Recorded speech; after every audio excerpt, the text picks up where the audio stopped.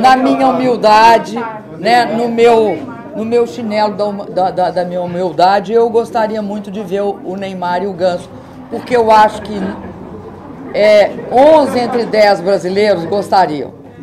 Porque veio, deu alegria ao futebol, porque a gente, eu vi, você veja, eu, eu já vi, parei de ver, voltei a ver, e acho que o, o Neymar e o Ganso têm essa capacidade de fazer a gente olhar.